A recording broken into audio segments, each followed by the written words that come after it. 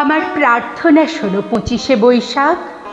আরেকবার তুমি জন্ম দাও রবীন্দ্রনাথের হতাশায় স্তব্ধ বাক্য, ভাষা চাই আমরা নির্বাক।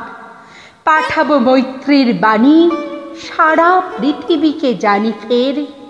রবীন্দ্রনাথের কণ্ঠে আমাদের ভাষা যাবে শোনা। ভেঙে যাবে রুদ্ধশ্বাস নিরুদ্দম সুদীর্ঘ মৌনতা। আমাদের দুঃখ, সুখে ব্যক্ত হবে প্রত্যেক রচনা। পীড়নের প্রতিবাদে উচ্চারিত হবে সব কথা।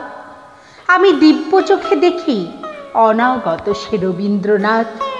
দস্যুতায় দৃপ্ত কণ্ঠ বিগত দিনের। ধৈর্যের বাঁধন যার ভাঙে দুঃশাসনের আঘাত।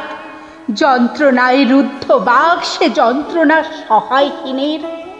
বিগত দুর্ভিক্ষে, যার উত্তেজিত তিক্ত তীব্র ভাষা, মৃত্যুতে ব্যথিত আর লোভের বিরুদ্ধে খরধার।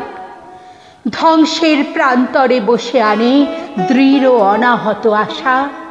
তার জন্ম অনিবার্য, তাকে ফিরে পাবই আবার। রবীন্দ্রনাথের সেই ভুলে যাওয়া বাণী অকস্মাৎ পরে কানাকানি। দামামা ওই বাজে দিন বদলের পালা এ ঝোড়ো যুগের মাঝে।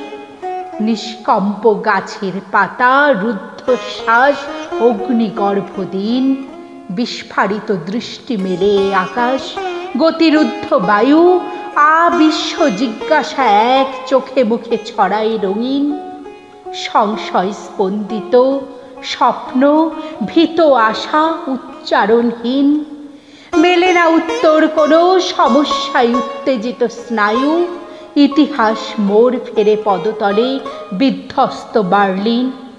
পশ্চিম সীমান্তে শান্তি, দীর্ঘ হয় পৃথিবীর আয়ু। দিকে দিকে জয়ধ্বনি কাঁপে দিন রক্তাক্ত আভায়। রাম রাবণের যুদ্ধে বিক্ষত এ ভারত জটায়ু। মৃত প্রায় যুদ্ধাহত পীড়নে দুর্ভিক্ষে মৌন মুখ।